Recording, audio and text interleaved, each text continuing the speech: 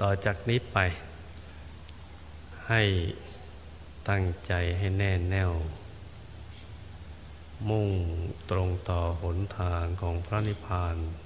ทุกๆคนนะจ๊ะ ให้นั่งขัดสมาธิเอาขาขวา ทับขาซ้าย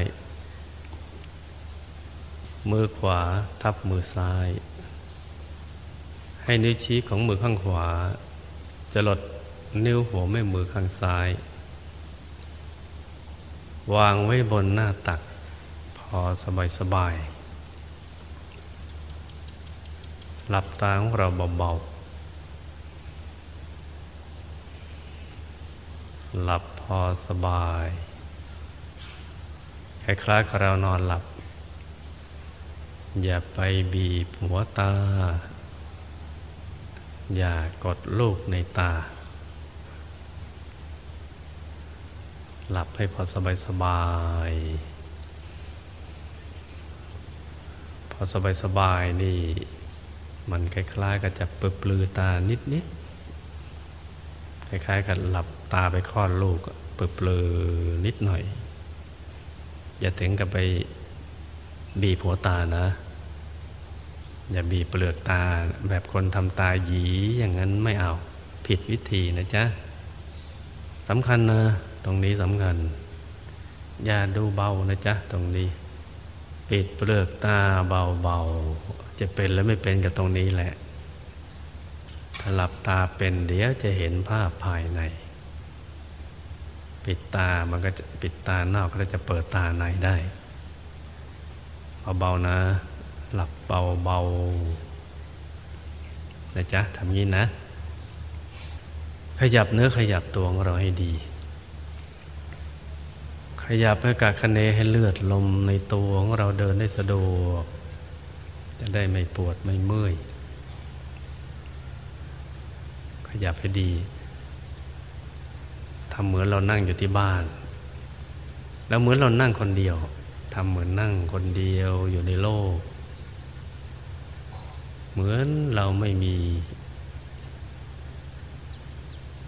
ไม่มีใคร อยู่รอบข้างเราเลยนะมันอยู่ตัวคนเดียว เราจะได้ปล่อยเนื้อปล่อยตัวอย่างสบายๆ โดยมีท่านั่งมาตรฐานท่านี้เนะี่ยขาขวาทับขาซ้าย มือขวาทับมือซ้าย นิ้วชี้มือขวาจรดนิ้วหัวแม่มือข้างซ้าย นี่เป็นท่านั่งมาตรฐานนะจ๊ะ ซึ่งถอดแบบออกมาจากพระธรรมกายในตัว ท่านก็นั่งตรงๆอย่างนี้แหละ แต่ประกายของท่านเป็นกายมหาบุรุษ เพราะฉะนั้นท่านนั่งกายตรง แต่เราก็ตรงพอดีพอดี ไม่ถึงก็ยืดกันไปจนเมื่อย หรือย่อจนกระทั่งตัวงอก็ไม่ใช่นะจ๊ะ ปรับตรงนี้ให้ดีสำหรับท่านที่มาใหม่ศึกษาทำความเข้าใจสักครั้งเดียวจะจำท่านี้ไว้ให้ดีนะ แล้วก็จำการปิดเปลือกตานี้ไว้ให้ดีจำตรงนี้ หลับตาแค่คลอดลูกคลอดลูกนะหลับตา แล้วก็ขยับเนื้อขยับตัวให้ดี ให้เลือดลมในตัวเดินได้สะดวก ให้กล้ามเนื้อทุกส่วนผ่อนคลายให้หมดเลย ทั้งเนื้อทั้งตัว ตั้งแต่เปลือกตา หน้าผาก ศีรษะ ต้นคอบ่าทั้งสอง มาไหล่ทั้งสอง แขนทั้งสองไปถึงปลายนิ้วมือ ผ่อนคลายให้หมดเลย ผ่อนคลายนะเวลาเรานั่งจริง ๆ แล้วบางทีมันกระเลงมันตั้งใจมาก มันจะกระเลงนิ้วมันจะกระดก นิ้วกระดกหัวแม่มือเนี่ยกระดกเลย นั่นเกรงเพราะฉะนั้นตอนนี้เราผ่อนคลายให้สังเกตดีๆว่าผ่อนคลายแล้วเรามือเราวางอย่างนี้อยู่ในท่าปกติก็เรียกว่ามืออยู่เป็นสุข คือเวลามือมันอยู่เป็นสุขเนี่ยมันอยู่จะอยู่นิ่งๆ ไม่เกรงไม่เครียด ไม่เคลื่อนไหวอะไรนะมืออยู่เป็นสุข ราวนี้ก็ผ่อนคลายกล้ามเนื้อบริเวณลำตัวของเรา ตั้งแต่ตัวของเราไปเลยนะอกไปเรื่อย ท้อง ผ่อนคลายให้หมด ขาทั้งสองไปถึงปลายนิ้วเท้าผ่อนคลายกันสักหนึ่งนาทีนะจ๊ะผ่อนคลายให้หมดเลย นี่คือการเตรียมตัวเตรียมร่างกายสำหรับการปฏิบัติธรรม ถ้าหากเราทำอย่างนี้จนกระทั่งติดเป็นนิสัยแล้วเนี่ยเวลาต่อไปนั่งครั้งต่อไปก็ง่าย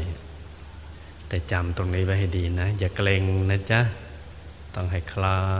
ยสบายอกสบายใจไปด้วย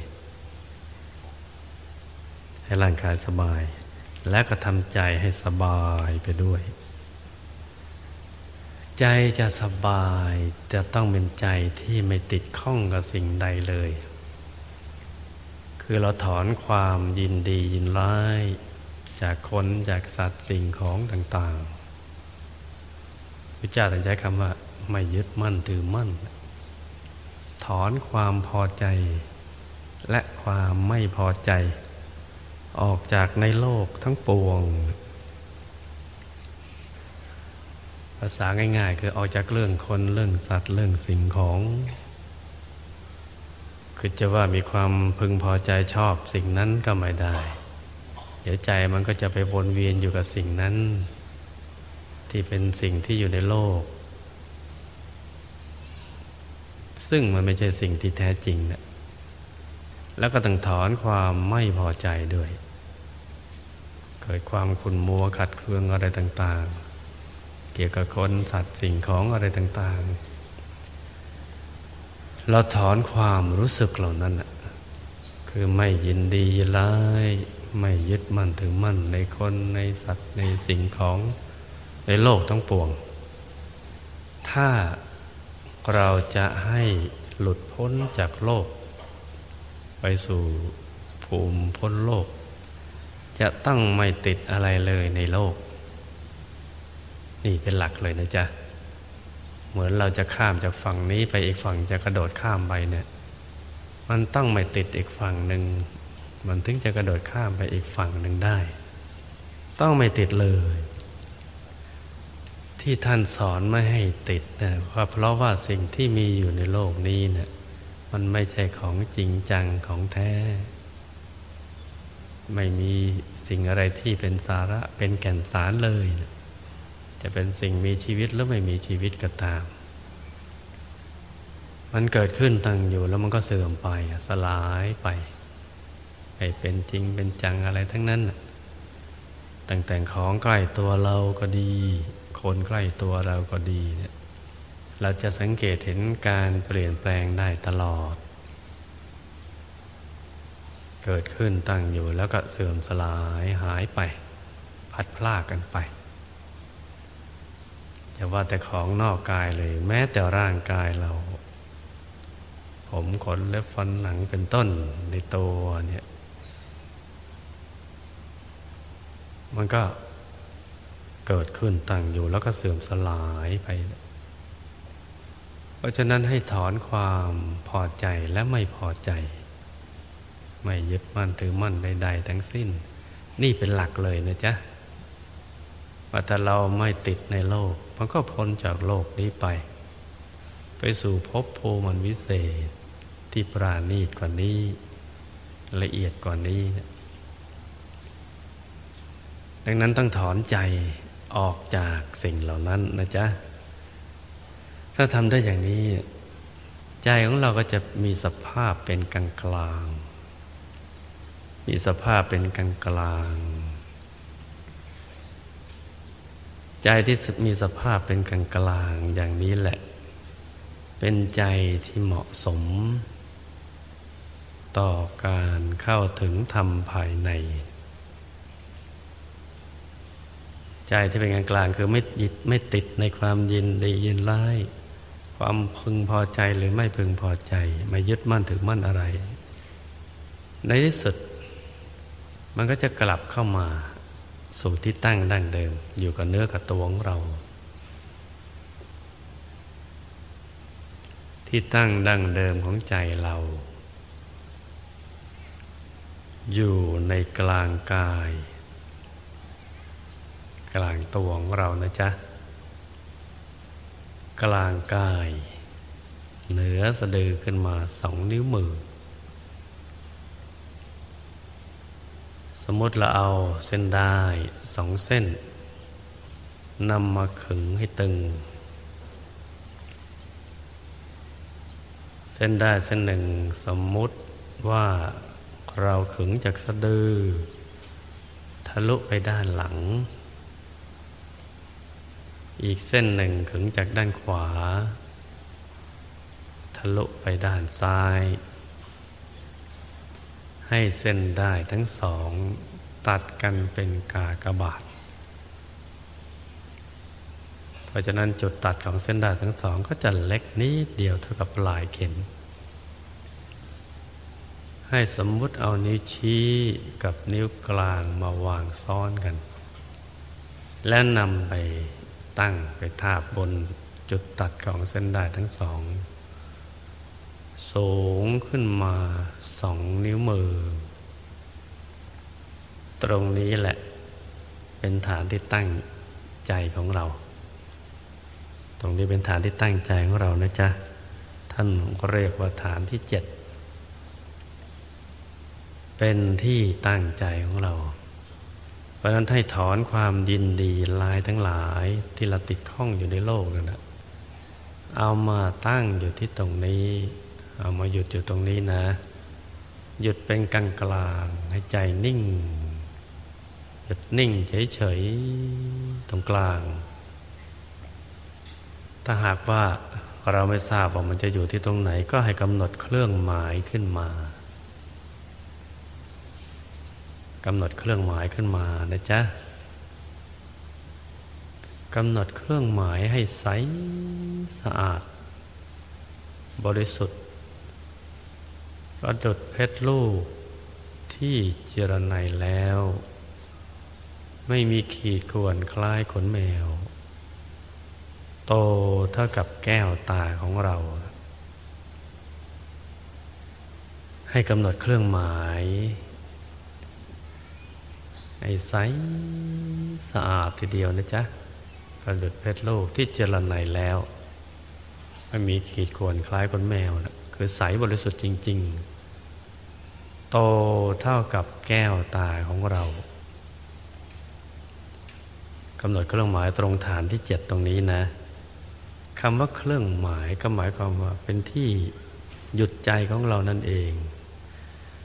คือเมื่อใจเราถอนจากความยินดียินลายทั้งหลายในคนในสัตว์ในสิ่งของ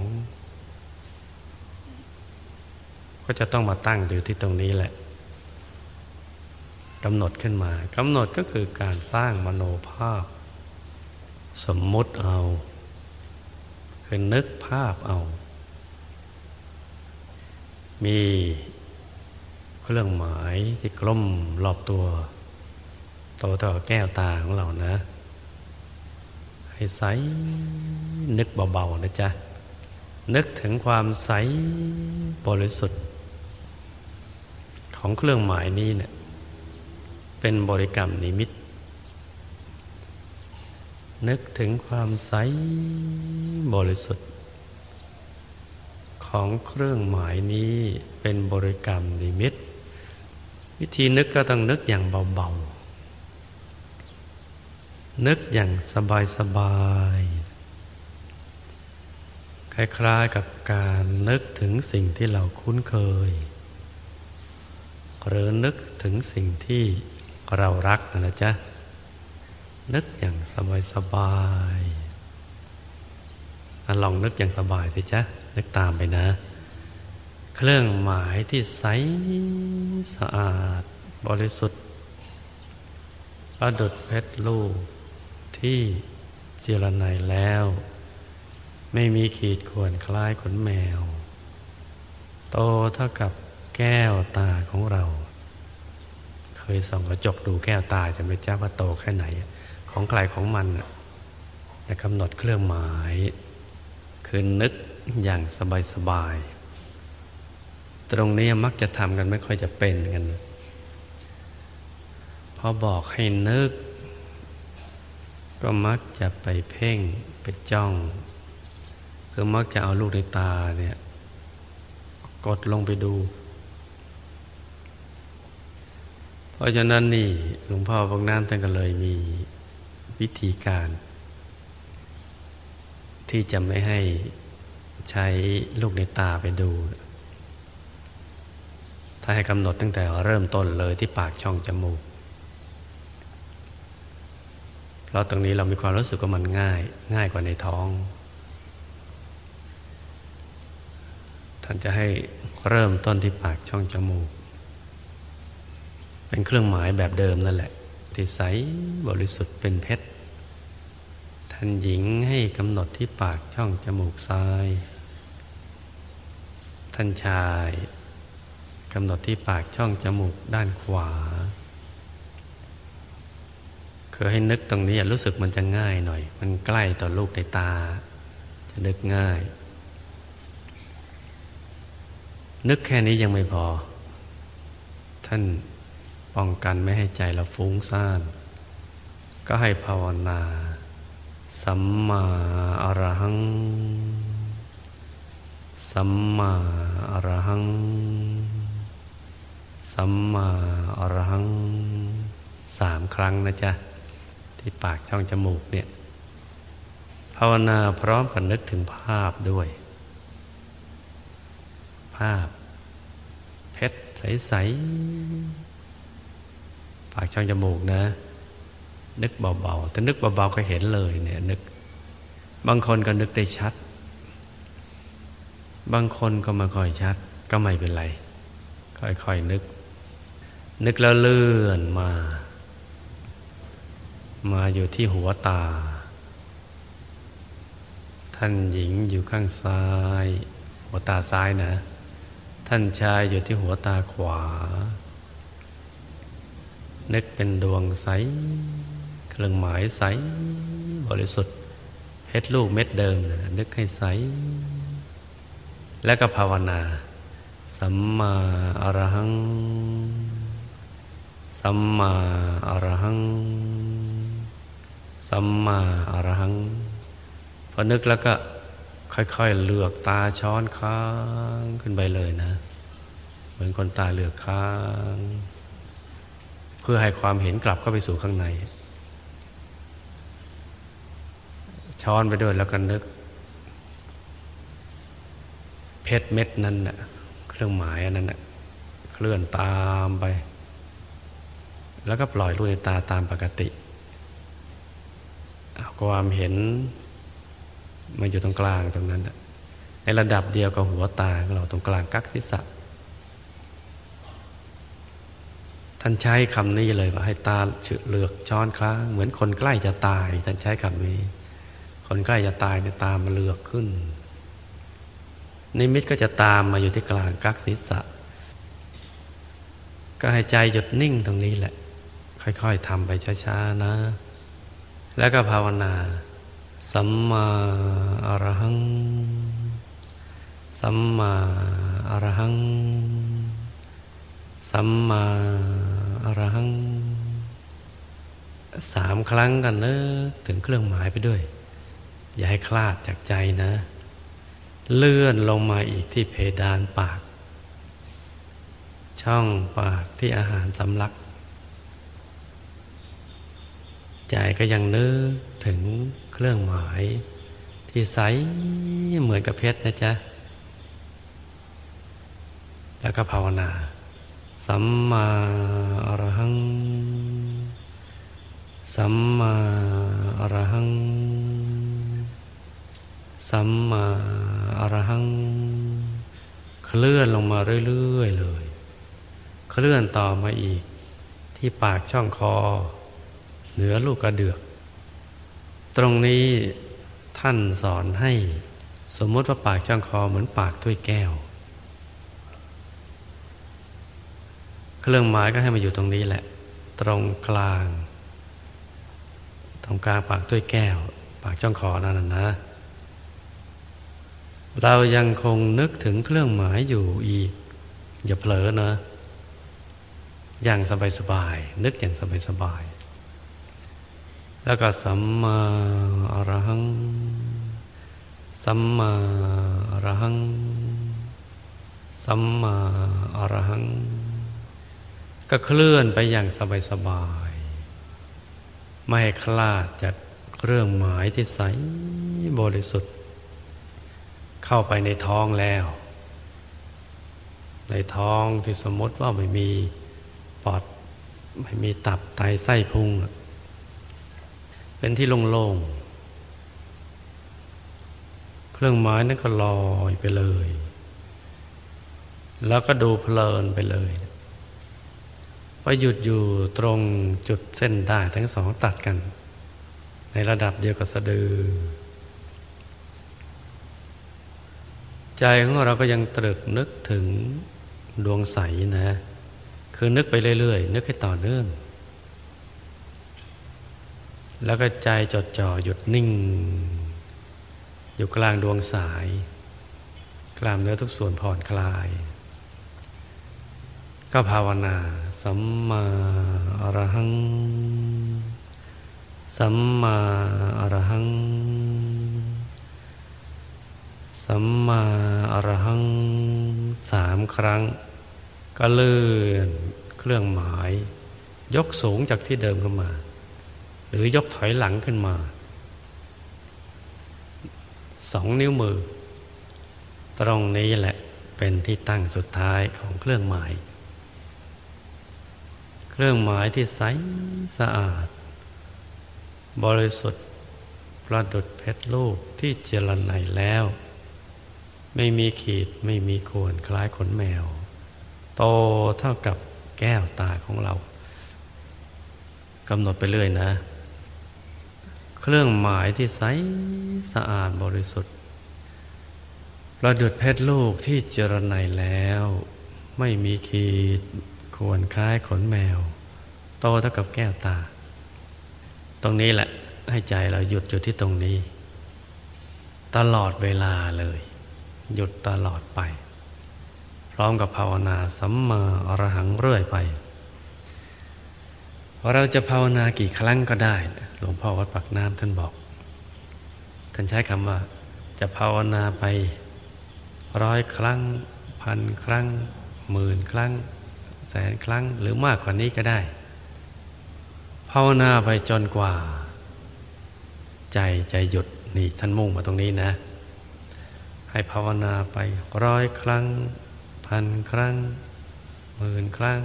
แสนครั้งหรือยิ่งกว่านั้น จนกว่าใจใจหยุดนี่ท่านมีความหมายอย่างนี้นะ มุ่งหมายจะให้ใจหยุด เพราะฉะนั้นเราก็ภาวนาอย่างเนี้ยพร้อมกันเนื้อถึงภาพไปด้วย ถึงภาพไปด้วยเลยนะ อย่าเผลอนะ ถ้าหากว่าเราภาวนาไป นึกดวงไป เดี๋ยวเผลอแวบไปคิดเรื่องที่บ้าน ที่ทำงานที่โรงเรียน พอเรารู้ตัวก็ดึงกลับมาใหม่นะจ๊ะดึงกลับมาใหม่ กลับมาแล้วก็มาภาวนาอย่างนี้แหละ สัมมาอรหัง สัมมาอรหังภาวนาไปเรื่อย ให้เสียงของคำภาวนา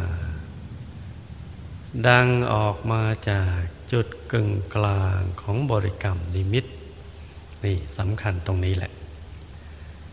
ให้เสียงของคำภาวนา เป็นเสียงที่ละเอียดอ่อน ดังออกมาจากบริกรรมนิมิตมี เทคนิคอยู่ตรงนี้นะ แล้วก็มีข้อสังเกตอีก ถ้าเราภาวนาสัมมาอรหังแล้วรู้สึกเหนื่อย แสดงว่าภาวนาไม่ถูกวิธี ถ้าถูกวิธีแล้วต้องไม่เหนื่อย ต้องรู้สึกมีความเพลิน มีความสนุกเพลิดเพลิน ต่อการภาวนาและการนึกถึงบริกรรมนิมิต นี่คือข้อสังเกตนะ ถ้ามีความรู้สึกเพลิดเพลิน สนุกสนาน ต่อคำภาวนาสัมมาอรหัง และนึกถึงบริกรรมนิมิตอย่างนี้ถูกวิธี มันก็เป็นหลักสากล เราจะทำอะไรก็ตาม ถ้าหากเราทำด้วยความสุขแล้วก็สนุกสนาน เพลินต่อสิ่งนั้น เราจะมีความรู้สึกเราไม่เบื่อ และสิ่งนั้นจะง่าย แล้วเดี๋ยวเราก็จะได้ได้สิ่งนั้นแหละ สิ่งที่เราต้องการ เพราะฉะนั้นการภาวนาตรงในกับการนึกถึงในมิตรตรงนี้เนี่ยต้องทำความเข้าใจให้ดีนะจ๊ะสำคัญนะจ๊ะตรงนี้คือ ต้องมีความสนุกและเพลินต่อการภาวนา แล้วสังเกตดูต้องไม่เหนื่อย ถ้าสมมติเราภาวนาสัมมาละหังทียิบแล้วรู้สึกเหนื่อย นั่นไม่ถูกวิธีแล้ว ต้องภาวนาอย่างสบายๆเหมือนเราร้องเพลงในใจไม่จ้าเรายังไม่เห็นรู้สึกเหนื่อยเลย รู้สึกเพลิน แต่นี่แทนที่จะเป็นเพลงที่เราร้องในใจ ก็เป็นคำภาวนา สัมมาอรหัง ซึ่งเป็นถ้อยคำอันบริสุทธิ์ มีความหมายที่ลึกซึ้งทีเดียว สัมมาแปลว่าชอบ มาจากมรรคแปดอรหังแปลว่าห่างไกลจากกิเลส จากเครื่องเศร้าหมอง จากสิ่งที่ไม่บริสุทธิ์ จากความทุกข์ทรมาน เพราะฉะนั้นเป็นถ้อยคำที่ศักดิ์สิทธิ์และบริสุทธิ์ ที่ลึกซึ้งมากทีเดียว ยิ่งเราภาวนาสัมมาอรหังเรื่อยไปเนี่ยก็ถ้ากับเรากลั่นกายวาจาใจของเราเนี่ยให้สะอาด ให้บริสุทธิ์ด้วยถ้อยคำที่ศักดิ์สิทธิ์ ที่มีความหมายลึกซึ้งตั้งแต่เบื้องต้นจนกระทั่ง ถึงพระนิพพานทีเดียว ภาวนาสัมมาอรหังอย่างนั้นเรื่อยไปเนี่ยยิ่งบริสุทธิ์เท่าไหร่เนี่ยกระแสบุญก็ยิ่งเกิดขึ้น เกิดขึ้นอย่างต่อเนื่องกันทีเดียว ต่อเนื่องจนถึงจุดจุดหนึ่งที่บุญเต็มเปี่ยม พอบุญเราของเราเต็มเปี่ยมคำภาวนาสัมมาอรหังนั้นเราคล้าย ๆ กับจะลืมภาวนาไปเลย คือคำภาวนาสัมมาอรหังนั้นได้แปลเป็นความบริสุทธิ์ไปแล้ว เพราะฉะนั้นเราเหมือนกับเราจะลืมคำภาวนาไป คำภาวนานั้นก็จะหายไปเลย เหลือแต่ใจที่หยุดนิ่ง ๆ อย่างเดียวกับบริกรรมนิมิต คือเห็นแต่ดวงอย่างเดียว แต่คำภาวนาหายไปนั่นเองเนี่ยเห็นดวงใสของบริกรรมนิมิต ใสจำนี่ถ้าหากว่าความบริสุทธิ์ของเราเต็มเปี่ยมแล้วนะจ๊ะ มันจะแปรไปเลยคำภาวนามันนั้นมันจะเลือนไปเลย ถ้าถึงตอนนี้ อย่าย้อนกลับไปภาวนาสัมมาอรหังอีกนะจ๊ะ เพราะพอถึงตอนนี้ความบริสุทธิ์เราเต็มที่แล้ว เราจะเห็นเครื่องหมายชัดแจ่มใจหยุดนิ่งสบายสบาย และไม่คิดเรื่องอื่นเลย ใจเป็นกลางกลางจริง ๆเลย เมื่อถึงตรงนี้แล้วนั่นเรา เดินถึงที่หมายในเบื้องต้นแล้ว บริกรรมนิมิตได้หยุดกึกไปนิ่ง เป็นดวงใสบริสุทธิ์อยู่ภายใน ไม่มีความคิดปรุงแต่งเลย ความรู้สึกที่ร่างกายของเราก็จะเลือนหายไป คล้ายกับเราไม่มีร่างกายคล้ายกลืนไปกับบรรยากาศไปเลยเนะ ลือใจที่นิ่งบริสุทธิ์อย่างเดียว เป็นกลางกลางที่มีความสุข ใจที่เป็นกลางกลางที่มีความสุขนะจ๊ะ มีความบริสุทธิ์ ความสุขมาพร้อมกับความบริสุทธิ์ ที่เราถอนความพอใจและไม่พอใจจากสิ่งทั้งปวงออกไปแล้ว ใจจะเป็นกลางกลางที่เขาเรียกว่าอัพยากฤิเป็นกลางกลาง พราะถอนความยินดียินร้ายออกหมดเลย ความพอใจกับความไม่พอใจนะ่ยในใด ๆ ออกหมด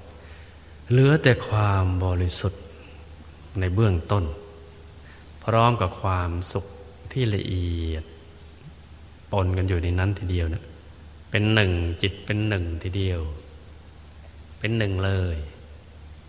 ไม่มีเรื่องอื่นเลย ให้คิดก็ไม่คิด แล้วก็ไม่มีความรู้สึกว่าอยากจะคิดอะไร มันเป็นที่ปลอดความคิด เป็นสถานที่ที่เป็นอิสระเป็นตัวของตัวเราเอง ซึ่งณตรงนี้เนี่ยจะทำให้เรามีความสุขมากแตกต่างจากที่เราเคยเจอมาเลยนะใจจะนิ่ง นี่คือปฐมมรรคซึ่งแปลว่า เบื้องต้นของ ทางมรรคผลนิพพานเบื้องต้นของทางอริยมรรคทางของพระอริยเจ้า ที่จะไปสู่อายตนานิพพาน ทางสายกลางที่มีอยู่ในตัวของเรานี้เนี่ยมีอยู่เส้นเดียวนะจ๊ะ ถ้าเปรียบก็เหมือนกับท่อน้ำใหญ่ๆ ท่อใหญ่ ๆ แล้วเราเดินเข้าไปในท่ออยู่คนเดียวนั่นแหละ จะเดินจะคลานอะไรก็แล้วแต่นะเป็นท่อเดียวเลยนะจ๊ะ ไม่มีท่อแยก เพราะฉะนั้นเมื่อมันเป็นเส้นทางเดียวนี้ท่านเรียกว่าเอกายนามักเป็นทางเอกสายเดียว ไปสู่อายตนะนิพพาน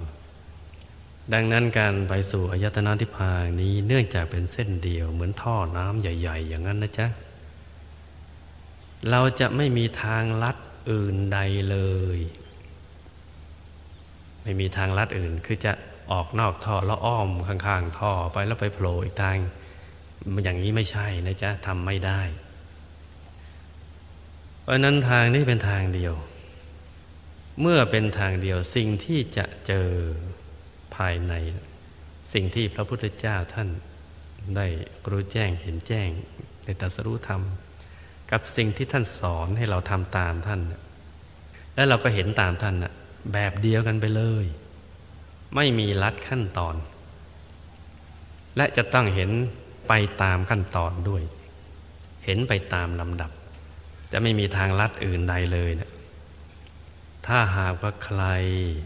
เห็นแล้วมีความรู้สึกเออเรามาทางลัดได้ ให้มาเริ่มต้นใหม่ที่สัมมาละหังนะจ๊ะ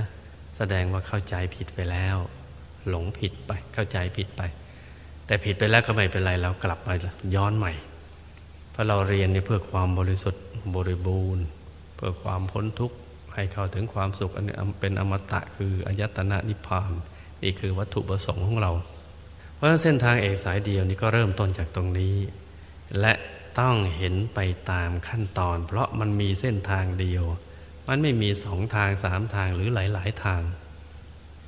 ดังนั้นต้องเห็นไปตามขั้นตอนขั้นตอนเห็นเป็นยังไง คือจากนี้ไปเนี่ยมันจะต้องเห็นดวงธรรมต่าง ๆ ไปก่อน เห็นดวงธรรม แล้วก็เห็นกายภายใน แล้วจึงจะเข้าไปถึงพระธรรมกาย มันจะเห็นไปชั้น ๆ เลยนะมีทั้งหมด 18 กายนะซ้อนกันอยู่ภายใน ข้ามขั้นตอนไปไม่ได้เลย ไม่ใช่พอหยุดตรงนี้ปับ๊บ ผล่พรวดไปเห็นกายธรรมอรหัตไปนู่นแต่จะเพราะนั้นขั้นตอนมันต้องเป็นไปตามขั้นตอนเนี่ยหลวงพ่อวัดปักน้ำนี่ เวลาท่านเห็นท่านก็เห็นไปตามขั้นตอนนะแต่การเห็นข้ามขั้นตอนนี่ไม่เหมือนหลวงพ่อวัดปักน้ำนะจ๊ะนั่นเป็นทางที่เราค้นพบใหม่ แต่ทางที่หลวงพ่อวัดปักน้ำค้นพบเป็นทางเดียวกับพระพุทธเจ้าเนี่ยท่านเห็นไปตามขั้นตอนเลย ท่านเห็นอย่างนี้พอหยุดเข้าไป อถูกส่วนเข้าเข้าถึงดวงธรรมดวงแรก เรียกว่าดวงศีล ที่เรียกว่าดวงศีลเนี่ยไม่ใช่ว่าท่านมาเรียกของท่านเองนะพอเข้าไปถึงตรงนั้นนะ่ะเราจะเป็นอันหนึ่งอันเดียวกับดวงธรรมดวงนี้เนี่ยจนกระทั่งเข้าใจถึงดวงธรรมดวงนี้อย่างทั่วถึงแล้วเนี่ยถึงรู้ว่าดวงนี้เรียกว่าดวงศีล ในกลางดวงศีลก็มีดวงสมาธิ มีดวงซ้อนกันอยู่พอใจหยุดในกลางดวงสมาธิ เดี๋ยวก็เข้าถึงดวงปัญญาพอใจหยุดในกลางดวงปัญญา เดี๋ยวก็เข้าถึงดวงวิมุตติพอใจหยุดอยู่ในกลางดวงวิมุตติเดี๋ยวเข้าถึงดวงวิมุตติญาณทัศนะหกดวงจะหกดวงธรรมจะซ้อนกันอยู่นะจ๊ะจะซ้อนกันอยู่ คือดวงธรรมที่ละเอียดจะซ้อนอยู่ในกลาง ดวงธรรมที่หยาบกว่า แล้วก็ซ้อนซ้อนซ้อนซ้อนเข้าไป พอสุดกลางดวงธรรมดวงที่หกก็จะเข้าถึงกายมนุษย์ละเอียด เห็นกายมนุษย์ละเอียด แล้วก็ต้องหยุดให้สนิททีเดียวจนกระทั่งเป็นอันหนึ่งอันเดียวกับกายนี้เลย กับกายมนุษย์ละเอียดนี้เลย เป็นอันเดียวกัน พอเป็นแล้วเราจะรู้สึกว่า เวลาเป็นกายมนุษย์ละเอียดเนี่ยมันไม่เหมือนกับเป็นกายมนุษย์หยาบ จะรู้เองจ้ะถึงตอนนั้น แล้วก็เข้าไปอย่างนี้แหละ หยุดไปในกลางกายมนุษย์ละเอียด เดี๋ยวก็เห็นดวงธรรมอีกหกดวง ก็เข้าถึงกายทิพย์จะมีกายที่เรียกว่ากายทิพย์และทำไมเรียกว่ากายทิพย์ไปถึงนั้นเดี๋ยวก็รู้เองแหละ เห็นเองเห็นแล้วก็จะรู้ขึ้นมา เมื่อเราเป็น แล้วก็เดี๋ยวจะเห็นในกลางกายทิพย์ก็เห็นอีกหกดวง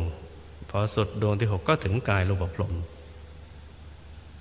ในกลางกายรูปพรมหยุดลงไปในนั้นอีกตรงกลางก็เข้าถึงอีกหกดวง พอสุดดวงที่หกก็เข้าถึงกายอรูปพรมเนี่ยท่านเข้าไปอย่างนี้แหละจนกระทั่งสุดกลางดวง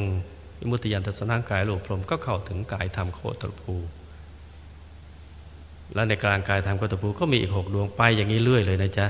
จนกระทั่งถึงกายธรรมบโสดา พระสกิทาคาพระนาคาพระอรหัตมีทั้งหมด 18 กาย มีหยาบมีละเอียด มีกายมนุษย์หยาบกายมนุษย์ละเอียดกายทิพย์หยาบทิพย์ละเอียดพรมหยาบพรมละเอียดรูปพรมหยาบรูปพรมละเอียด กายทำโคตรภูหยาบโคตรภูละเอียดเลื่อยไปเลยตามลำดับหยาบละเอียดเลื่อยไป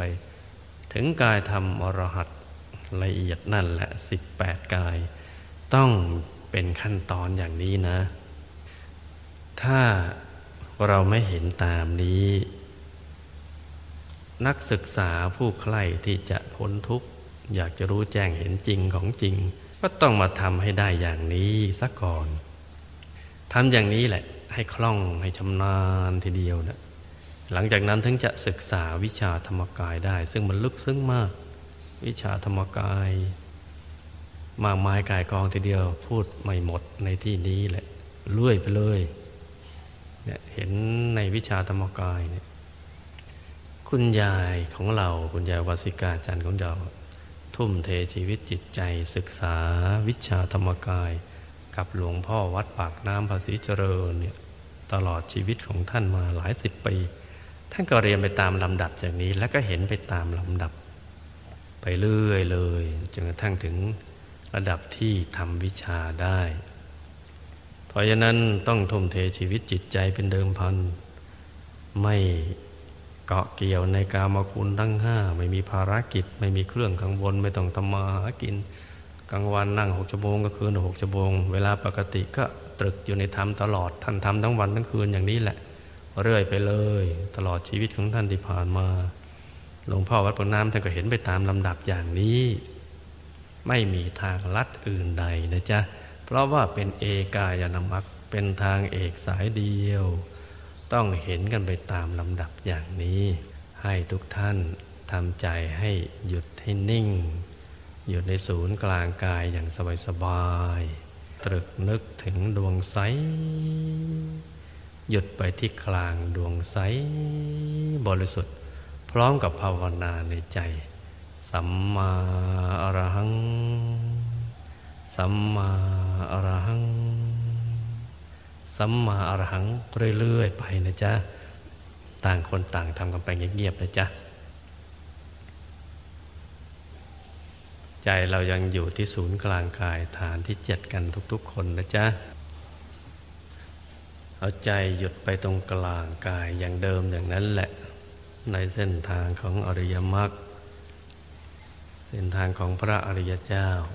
ที่พระพุทธเจ้าพระอรหันต์ทั้งหลายเสด็จไปสู่ยตนานิพพาน เป็นทางเอกสายเดียว ไม่มีสองทาง เป็นทางสายกลางที่อยู่ภายในตัวของพวกเราทุกคน ใจหยุดไปตามลำดับนะจ๊ะ นิ่งไปตรงกลาง ฐานที่เจ็ดเหนือจากจุดตัดของเส้นได้ทั้งสองขึ้นมาสองนิ้วมือ ไม่ต้องภาวนาสัมมาละหังแล้วนะจ๊ะ หยุดนิ่ง ๆ สบาย ๆ ใครเข้าถึงดวงธรรมก็เอาใจหยุดไปกลางดวงธรรม ใครเข้าถึงกายมนุษย์ละเอียด เอาใจหยุดไปกลางกายมนุษย์ละเอียด ใครเข้าถึงกายทิพย์ก็เอาใจหยุดไปที่กลางกายทิพย์ ใครเข้าถึงกายรูปพรมก็เอาใจหยุดไปกลางกายรูปพรม รเข้าถึงกายอรูปพรมก็เอาใจหยุดไปกลางกายอรูปพรมใครเข้าถึงกายธรรมก็เอาใจหยุดไปกลางกายธรรมหยุดในหยุดเข้าไปเรื่อยๆแต่ใครเข้าถึงกายธรรมในกายธรรมก็หยุดในหยุดเข้าไปนะจ๊ะหยุดอย่างเดียว หยุดเป็นตัวสำเร็จ อยากเป็นตัวไม่สำเร็จ มีความนึกคิดอะไรก็ไม่สำเร็จต้องหยุดอย่างเดียว หยุดนิ่งๆ ในเส้นทางสายกลาง ซึ่งไม่มีทางลัดอื่นใด นอกจากหยุดกันนิ่ง แล้วก็ต้องเห็นไปตามลำดับนี้นะจ๊ะทำอย่างนี้นะ แล้วก็ใจหยุดในหยุดหยุดในหยุดนิ่งให้ดีทีเดียว หยุดอย่างสบายๆตรงสภาวะธรรมที่เราเข้าถึงนะจ๊ะเราเข้าถึงไหน เราก็หยุดตรงนั้นแหละให้สนิทจนกระทั่งมันเป็นนันหนึ่งอันเดียวกันไปเลย กับสิ่งนั้น ช่น ถ้าเขาถึงดวงธรรมก็หยุดเป็นในกลางดวงธรรมให้เป็นดวงธรรมไปเลยไม่ใช่ปุดผ่านมาเฉยๆหรือกายผ่านมาเฉยๆโดยไม่รู้เรื่องรู้ราวหรือองค์พระผ่านเฉยๆไม่ก็ยังไม่รู้เรื่องรู้ราวอะไร นั่นแสดงว่าเราหยุดได้ในระดับหนึ่งแล้ว ก็ต้องฝึกฝนต่อไปฝึกจนกว่าจะหยุดสนิทเป็นนั้นหนึ่งอันเดียวกับทุกองค์เลย เป็นอันหนึ่งอันเดียวกันเลย เป็นอันหนึ่งเดียวกับทุกกาย เป็นอันหนึ่งเดียวกับทุกดวงธรรม ไปตามลำดับอย่างนี้ไม่มีลัดขั้นตอน เพราะฉะนั้นบุญก็เกิดขึ้น บุญบารมีรัศมีกำลังฤทธิ์เกิดขึ้น เกิดขึ้น มาจรดที่ศูนย์กลางกายท่อทานแห่งบุญปุญญาพิสันทางเกิดขึ้นในกลาง เกิดขึ้นในกลางใสบริสุทธิ์ติดอยู่ในกลางกายของพวกเรา ทุกคนเลย ยิ่งหยุดสนิทมาก บุญก็เกิดขึ้นเต็มที่ไปตามกำลัง ให้ผลบุญส่งผลให้ได้เป็นบุญในปัจจุบันทันตาเห็น ให้ทุกคนมีความสุขมีความเจริญคิดไหลสมความปรารถนา ให้มีดวงตาเห็นธรรม ให้ธุรกิจการงานก็ให้มีความเจริญรุ่งเรือง อุปสรรคต่างๆ นานาที่เกิดขึ้นในชีวิตก็ให้ละลายหายสูญไปให้หมด โครงการเศรษฐกิจตกต่ำก็ได้อนุภาพแห่งบุญดลดาในพลิกสถานการณ์ที่ตรงกันข้ามกันไปเลย ให้เชื่อมโยงสายสมบัติมาติดหมดทุกคนติดหมดเลยไปตามกำลังส่วนกำลังบุญตามส่วนตัดส่วนกันไป ให้ได้ผลบุญกันเต็มเปี่ยมไปเลยเนี่ยเอาบุญนี้เชื่อมสายสมบัติเชื่อมไม่ติดหมด ที่เขาย่อยแยกไปแค่ไหนเราไปรวมมามาติดให้หมดเลย แล้วก็เก็บผังสำเร็จที่เขาบังคับเอาไว้ บังคับโดยย่อยก็ดี บังคับผังรวมก็ดีเนี่ยที่ทำให้ข้าวอยากมาแพงเศรษฐกิจตกต่ำลบราคาฟันเกิดโรคภัยแค่เจ็บ ภัยพิบัติต่าง ๆ เก็บละลายหายสูญไปให้หมด ให้ประสบความสำเร็จให้ได้ เพราะนั้นให้ลูกๆทุก ๆ คนอย่าท้ออย่าท้อถอย อย่าวิตกกังวล บุญนั่นแหละเป็นที่พึ่งของเรา เพราะฉะนั้นเราจะต้องนึกถึงบุญที่เราได้ทำมานะ่ะกี่ภพกี่ชาติ ให้มาช่วยเราในปัจจุบัน ให้เดินตามแบบของพระสัมมาสัมพุทธเจ้า ว่าท่านเจออุปสรรค เจอภัยจากพยามารท่านไม่ได้ไปสู้รบปรบมือกับพญามารด้วยสิ่งไรเลย นั่งนิ่ง อยู่ที่ใต้ต้นโพนะนิ่งสงบ นึกถึงบารมีบุญบารมีของท่าน ทานบารมีศีลบารมีเนคขมะ ปัญญาวิริยะขันติสัจจะอิฐานเมตตาอุเบกขาบารมี บารมีสามสิบทัศทั้งหมด มารวมกัน นึกถึงแต่บุญนึกถึงแต่ความดี เอาชนะพยายามมานั้นได้ พวกเราทุกคนก็ตาม ในภาวะที่เกิดสถานการณ์เศรษฐกิจตกต่ำในยามนี้เนี่ยเรากระแสบาปมันแรงเนี่ยจะชนะได้ก็ต้องนึกถึงกระแสบุญ บุญพวกเราทำมาไม่น้อยเลย นับพบนับชาติไม่ท้วนนั่นแหละเรียกมาสิจ้ะนึกถึงบ่อยๆ วิธีนึกก็เอาใจหยุดนิ่งไปตรงกลางตรงนั้นแหละ แล้วก็นึกเบาๆ ว่าอนุภาพแห่งบุญบารมีสามสิบทัศที่ข้าพเจ้าทำมากี่ภพกี่ชาติ จะระลึกได้ก็ดีระลึกไม่ได้ก็ดี ภาวะของข้าพเจ้าในตอนนี้ขับขันจริง ๆ แล้ว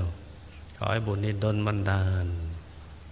พลิกผันสถานการณ์นี้เนี่ย ให้ตรงกันข้าม จากมืดไปสว่าง จากความทุกข์ไปความสุข จากความหายนะเป็นความสำเร็จเป็นความเจริญรุ่งเรือง นึกไปทุกวันและทำใจให้ชุ่มอยู่ในกลางทำใจให้ชุ่มให้ใจหยุดเดินแบบเดียวกับพระพุทธเจ้าไปเลยอย่างนี้ อย่างนี้แหละไม่ช้า ไม่ช้ามันก็จะเห็นผลเกิดขึ้นมา แต่ว่าปัจจุบันนี้เนี่ยเราทำบ้างเป็นบางครั้งคราว ผสมปนเปกับความวิตกกังวล คือยังเชื่อมั่นไม่เต็มที่ มีความวิตกกังวลก็แทรก เพราะฉะนั้นเนี่ยบุญก็ไม่ได้ช่องไม่ได้โอกาส บาปมันได้ช่องมากกว่าวิบัติบาปศักดิ์สิทธิ์ก็เข้าแทรก ดังนั้นการหยุดนี่แหละเป็นตัวสำเร็จที่จะเชื่อมโยงบุญที่เราได้ทำมานับไม่ถ้วนจนกระทั่งบัดนี้เนี่ยมาช่วยแก้ไขสถานการณ์ เลวร้ายตัวนี้ให้พลิกกลับเป็นดีไปได้ ถ้าพวกเรามีบุญน้อย ไม่มีโอกาสหรอก ที่จะได้ยินได้ฟังเกี่ยวกับเรื่องธรรมกาย เกี่ยวกับเรื่องวิชาธรรมกาย จะไม่มีโอกาสมารวมประชุมกันปฏิบัติธรรมเพื่อเข้าถึงธรรมกายเพราะฉะนั้นกำลังบุญของเรานะมีไม่น้อย แต่ว่าเราไม่ได้เอามาใช้ เราเอาความวิตกกังวลมาใช้ เพราะฉะนั้น เมื่อเอาความวิตกกังวลมาใช้ ก็ได้ความวิตกกังวลได้ความทุกข์ทรมานไป ดังนั้นให้เปลี่ยนทัศนคติใหม่ ตั้งแต่วันนี้ไปเนี่ยให้ใจมั่นแน่วแน่อยู่ในบุญ ส่วนหยาบๆก็แค่ไขไปด้วยสติและปัญญา ให้ถอนใจออกจากความยินดีและยินลายทั้งหลาย ให้ใจเป็นกลางกลางวินิจฉัยเราจะได้ไม่ผิดพลาด ดูอะไรให้เป็นกลางกลาง แล้วเราจะไม่ผิดพลาด ให้ทำกันอย่างนี้นะจ๊ะ แล้วตั้งแต่วันนี้เป็นต้นไปเนี่ยจะต้องสั่งสมบุญของเราให้เต็มที่ ในขณะที่เงินบาทมันลดค่าลง สิ่งที่เราควรจะทำคือฝากฝังทรัพย์ที่มีอยู่นี้ไว้ในพระพุทธศาสนา ให้มันเป็นบุญเป็นกุศลติดไปในภพเบื้องหน้า ให้ยิ่งยิ่งขึ้นไป ให้ใจเด็ดเดี่ยวเหมือนท่านเมนตกะเศรษฐี สมัยที่สร้างบารมีอยู่กว่าจะได้มาเป็นมหาเศรษฐีนั้นแต่ลำบากทุกยากยิ่งกว่าเราในยุคนี้ ท่านเกิดในยุคที่สถานการณ์เลวร้ายกว่านี้ ขนาดต้องเอาข้าวสาร เอาข้าวเปลือก ที่คลุกกับโคลนฉาบทาฝาผนังเอามาล้างน้ำเอามาตำแล้วท่านก็เอามาทำบุญ การทำบุญของท่านด้วยข้าวสารด้วยข้าวสุกหนึ่งมือนั้นแก่พระปัจเจกพุทธเจ้า ท่านหวังไปเอาดีในภพบึงนา เป็นคนที่ใจเด็ดทีเดียว เมื่อท่านทำสิ่งที่ใครๆก็ทำได้ยากในโลก เวลาบุญส่งผลให้มีสมบัติเต็มที่ ก็มีสมบัติที่ยากๆ ที่ยากที่ใครในโลกจะได้ท่านได้สมบัติจักรพรรดิบังเกิดขึ้นมาทีเดียว เป็นมหาเศรษฐี